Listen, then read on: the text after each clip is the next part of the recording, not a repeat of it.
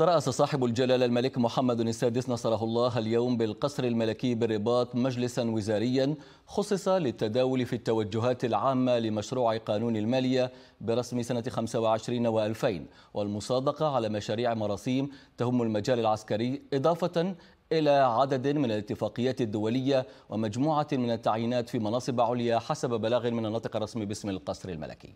التفاصيل.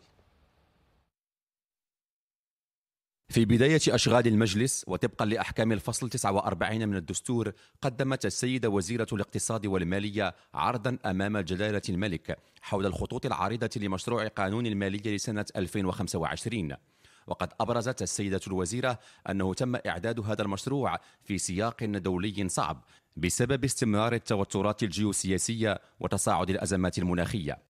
ورغم ذلك فقد تمكن المغرب بفضل القيادة الرشيدة لجلالة الملك حفظه الله من مواصلة الإصلاحات الاقتصادية والاجتماعية مع الحفاظ على استدامة التوازنات الماكرو اقتصادية حيث من المتوقع أن تبلغ نسبة النمو 3.3% سنة 2024 وأضافت السيدة الوزيرة بأن مشروع قانون المالية يتمحور حول أربع أولويات تشكل كل واحدة منها رافعة لتعزيز التماسك الاجتماعي وتحصين السيادة الاقتصادية وتحقيق شروط الازدهار المنشود بالنسبة للأجيال القادمة. أولاً مواصلة تعزيز أسس الدولة الاجتماعية لا سيما من خلال التنزيل المنسجم والفعال لورش تعميم الحماية الاجتماعية فبعد تعميم التأمين الإجباري الأساسي عن المرض سيتم استكمال تنزيل ورش الدعم الاجتماعي المباشر والذي بلغ عدد المستفيدين منه حوالي أربعة ملايين أسرة وذلك بموازاة مع مواصلة تنزيل إصلاح المنظومة الصحية. كما ستتم مواصلة تنزيل خارطة الطريق لإصلاح المنظومة التربوية ودعم الحوار الاجتماعي إضافة إلى تنزيل مختلف الأوراش التي تدخل في إطار برنامج إعادة البناء والتأهيل العام للمناطق المتضررة من آثار زلزال الحوز وتأهيل المناطق المتضررة من الفيضانات بالجنوب الشرقي للمملكة. ثانيا توطيد دينامية الاستثمار وخلق فرص الشغل طبقا للتعليمات الملكية السامية وذلك من خلال تحفيز الاستثمار الخاص وتنزيل ميثاق الاستثمار حيث سيتم التركيز على تسريع عملية المصادقة على المشاريع الاستثمارية وعلى التحسين المستمر لمناخ الأعمال كما سيتم دعم الاستثمار العمومي ومواصلة الأوراش الهيكلية التي تم الشروع في إنجازها لا سيما استراتيجية الجيد الأخضر. والمشاريع المرتبطة بقطاع الهيدروجين الأخضر والتحول نحو الطاقات النظيفة وخارطة الطريق للقطاع السياحي مع الحرص على وضع تدبير الموارد المائية في صلب الأولويات والتسريع في تنزيل البرنامج الوطني للتزود بالماء الصالح للشرب ومياه السقي. وكذا إعطاء أهمية خاصة لتنفيذ المشاريع الضخمة المرتبطة بالاستعدادات لاستضافة كأس العالم 2030 وبموازاة ذلك سيتم تفعيل خارطة طريق ملموسة لإنعاش التشغيل وفق مقاربة مندمجة ومتعددة الأبعاد تهدف لتحفيز دينامية الاستثمار في القطاعات الأكثر وقعا من حيث إحداث فرص الشغل وتقوية الدعم للمقاولات الصغيرة جدا والصغرى والمتوسطة والرفع من وقع البرامج النشيطة للتشغيل إضافة إلى التخفيف من تداعيات الجفاف على التشغيل بالوسط القروي ثالثا مواصلة تنفيذ الإصلاحات الهيكلية وفي مقدمتها إصلاح منظومة العدالة عبر استكمال الإطار التشريعي والتنظيمي الخاص بها ومواصلة المجهودات المبذولة لتعميم محاكم الأسرة وتحديث الإدارة القضائية وتحولها الرقمي. كما ستتم مواصلة تنزيل الجهوية المتقدمة وإصلاح المؤسسات والمقاولات العمومية لا سيما من خلال تفعيل التوجهات الاستراتيجية للسياسة المساهماتية للدولة والعمل على إصلاح القانون التنظيمي لقانون المالية ومواصلة تنزيل القانون المتعلق بالإصلاح الضريبي. رابعا الحفاظ على استدامة المالية العمومية من خلال اتخاذ التدابير اللازمة لضمان استعادة التوازنات المالية بشكل تدريجي وتوفير التمويل اللازم للأوراش المبرمجة مع الحرص على تقليص عجز الميزانية واستعادة الهوامش المالية الضرورية لمواجهة المخاطر والأزمات المستقبلية المحتملة. وقد أشارت السيدة الوزيرة إلى أن التوجهات العامة لمشروع القانون المالي تهدف إلى تعزيز وقع الاستراتيجيات المعتمدة في مسار التنمية ببلادنا وتحقيق انتعاش اقتصادي قوي مع تسجيل معدل نمو يصل إلى 4.6% خلال سنة 2025 وحصر معدل التضخم في حدود 2% وبعد أن صادق المجلس الوزاري على التوجهات العامة لمشروع قانون المالية برسم سنة 2025 تمت المصادقة على سبعة مشاريع مراسيم تهم المجال العسكري. ويتعلق الأمر بمشاريع مراسيم بتغيير المراسيم المتعلقة بتحديد كيفيات تطبيق مقتضيات النظام الأساسي الخاص بأفراد القوات المساعدة والنظام الأساسي الخاص بأفراد الوقاية المدنية والأطباء العاملين بالمديرية العامة للوقاية المدنية والمصالح الخارجية التابعة لها. وبتحديد مرتبات العسكريين الذين يتقاضون أجرة شهرية التابعين للقوات المسلحة الملكية. وكذا بتحديد نظام أجور وتغذية ومصاريف تنقل العسكريين بالقوات المسلحة الملكية المتقاضين أجرة تصاعدية خاصة. وتندرج هذه المشاريع الأربعة في إطار العناية الخاصة التي يوليها جلالة الملك القائد الأعلى ورئيس أركان الحرب العامة للقوات المسلحة الملكية للنهوض بالأوضاع الاجتماعية والمادية لهذه القوات وتهدف للزيادة في أجور أفراد القوات المساعدة والوقاية المدنية والقوات المسلحة الملكية والدرك الملكي وذلك على غرار الزيادات المقررة لجميع الموظفين في إطار الحوار الاجتماعي.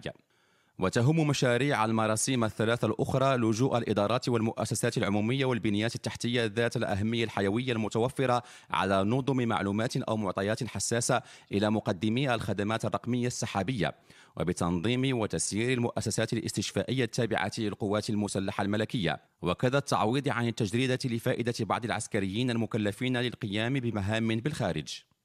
وفي إطار تعزيز علاقات الشراكة والتعاون التي تجمع المغرب بعدد من الدول الشقيقة والصديقة وتعزيز مكانته والوفاء بالتزاماته على الصعيدين القاري والدولي صادق المجلس الوزاري على 19 اتفاقية دولية منها 16 اتفاقية ثنائية وثلاث اتفاقيات متعددة الأطراف. وتتعلق الاتفاقيات الثنائية بتشجيع والحماية المتبادلة للاستثمارات وتعزيز التعاون في المجال القضائي وفي مجالات الصيد البحري والسياحة والمساعدة الإدارية المتبادلة في المجال الجمركي والتعاون في ميادين النقل الدولي عبر الطرق والصيد البحري والخدمات الجوية. وتتميز 13 اتفاقية منها بكونها مبرمجة مع ست دول إفريقية في إطار اللجان المشتركة المنعقدة بمدينة الداخلة بالصحراء المغربية. أما الاتفاقيات متعددة الأطراف فتخص الاتفاق بشأن إحداث المقر الدائم للمعهد الإفريقي للتنمية بالداخلة والاتفاق المتعلق بتسهيلات وامتيازات المديرية الجهوية لشمال إفريقيا والمكتب الوطني للوكالة الجامعية الفرنكفونية بالمغرب. وكذا الاتفاق المبرم في إطار الأمم المتحدة لقانون البحار بشأن حفظ التنوع البيولوجي البحري في المناطق الواقعة خارج نطاق الولاية الوطنية واستخدامه على نحو مستدام. وطبقا لأحكام الفصل 49 من الدستور وباقتراح من رئيس الحكومة وبمبادرة من وزير الداخلية تفضل جلالة الملك أعزه الله بتعيين عدد من الولاة والعمال بالإدارة المركزية والترابية. السيد معاد الجامعي واليا على جهة فاس مكناس وعاملا على عمالة فاس. السيد الخطيب الهبيل واليا على جهة الشرق وعاملا على عمالة وجدة أنجاد. السيد السعيد زنيبر واليا على جهة درعة تافيلالت وعاملا على إقليم الرشيدية. السيد محمد بن ريباك واليا على جهة بني ملال خنيفرة وعاملا على إقليم بني ملال. السيد محمد العطفاوي عاملا على إقليم الجديدة. السيد المصطفى النوحي عاملا على عمالة السخيرات تمارة السيد عبد الحميد المزيد عاملا على إقليم القنيطرة السيد محمد فطاح عاملا على إقليم آسفي السيد مبروك تابت عاملا على إقليم ترودانت السيد محمد سمير الخمليشي عاملا على إقليم مولا يعقوب السيد عبد الرحمن الجوهري عاملا على إقليم تيزنيت السيد شكيب القايد عاملا على إقليم جرادة السيد حسن بن خيي عاملا على إقليم أزيلال. السيد عبد الله شاطر عاملا على إقليم طنطان السيد محمد رشدي عاملا على إقليم أوسرد السيد عبد الحق حمداوي عاملا على عمالة مقاطعات الفداء مرس السلطان السيد عبد اللطيف النحلي عاملا على إقليم الخميسات السيد جلال بن حيون عاملا على إقليم النواصر السيد إدريس مصباح عاملا على إقليم إفران السيد علال الباز عاملا على إقليم بولمان.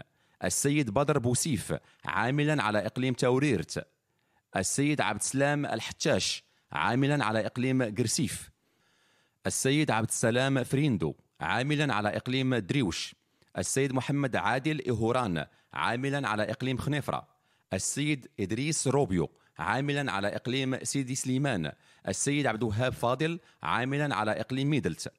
السيد إبراهيم بوتوميلات عاملا على إقليم السمارة. السيد محمد الطاوس عاملا على عمالة مقاطعات عين السبع الحي المحمدي. وبالإدارة المركزية تفضل جلالة الملك بتعيين السيد جلول صمصم واليا مديرا عاما للجماعات الترابية والسيد حسن مزغمة عاملا مديرا للشؤون القروية. وباقتراح من رئيس الحكومة وبمبادرة من وزير الشؤون الخارجية والتعاون عين جلالته نصره الله مجموعة من سفراء جلالته لدى عدد من الدول الشقيقة والصديقة. ويتعلق الأمر بكل من السيد عثمان الفردوس سفيرا لدى جمهورية الكوت ديفوار. السيد عبد القادر الجموسي سفيرا لدى جمهورية الكاميرون. السيد مصطفى العالمي الفلوس سفيرا لدى جمهورية إفريقيا الوسطى. السيدة نجوى البراق سفيرة لدى جمهورية الكونغو. السيد محمد إبو مراتن سفيرا لدى جمهورية النيجر. السيد أحمد رضا الشامي سفيرا لدى الاتحاد الأوروبي. السيدة فتيحة العيادي سفيرة لدى الدنمارك. السيد عمر أمغار سفيرا لدى جمهورية صربيا. السيد رضوان الدغوغي سفيرا لدى جمهورية بلغاريا. السيد ماجد حليم سفيرا لدى ماليزيا. السيد رضوان الحسيني سفيرا لدى جمهورية أندونيسيا. السيدة بثينة الكردودي سفيرة لدى جمهورية بنغلاديش. السيد يونس الديغوسي سفيرا لدى سانت لوسيا. وباقتراح من رئيس الحكومة وبمبادرة من وزيرة الاقتصاد والمالية عين جلالته السيد نعمان العصامي في منصب مدير صندوق تضامن ضد الوقائع الكارثية. وباقتراح من رئيس الحكومة وبمبادرة من وزير الصحة والحماية الاجتماعية تفضل جلالة الملك حفظه الله بتعيين كل من السيد مصطفى أبو معروف في منصب رئيس الهيئة العليا للصحة السيد سمير أحيد في منصب مدير الوكالة المغربية للأدوية والمنتجات الطبية السيد كمال الدغمي في منصب مدير الوكالة المغربية للدم ومشتقاته. وباقتراح من رئيس الحكومة وبمبادرة من وزير الشباب والثقافة والتواصل عين جلالة الملك كلا من السيدة لطيفة مفتقر في منصب مدير أرشيف المغرب السيد رحال بوبريك في منصب مدير المعهد الملكي للبحث في تاريخ المغرب. وباقتراح من رئيس الحكومة وبمبادرة من الوزير المنتدب لدى وزيرة الاقتصاد والمالية المكلف بالميزانية عين جلالته السيد سعيد الليث في منصب المدير العام لوكالة تنمية الأطلس الكبير. والسيدة وفاء جمالي في منصب المدير العام للوكالة الوطنية للدعم الاجتماعي.